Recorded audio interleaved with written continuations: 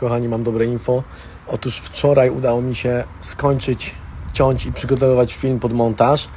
No i w, tym, w ten weekend go nie będzie, ale w przyszły weekend e, mój film u mnie na kanale się pojawi nowy. Fajnie.